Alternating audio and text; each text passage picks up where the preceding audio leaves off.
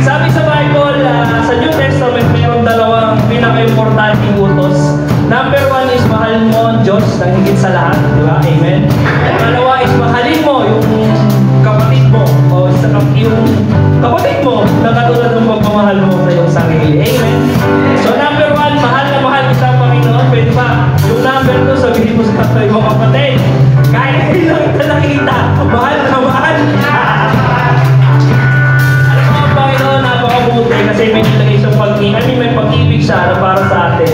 At habang nasa lupa tayo, gusto niya na i-express natin yung pag-ibig na yun. Sa Kanya, at the same time, sa mga kapatid na nakakasama natin. Amen? So, awitin natin itong kanta na to na awit sa Panginoon na galing sa puso. Na may mga ngiti sa ating mga labi kasi pag inlove ka, lagi ka nakangiti, kadalasan.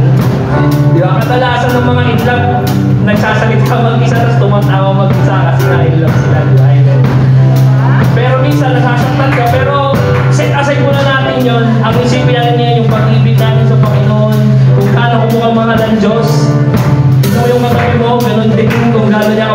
Kung gaano kamahal yung katabi mo.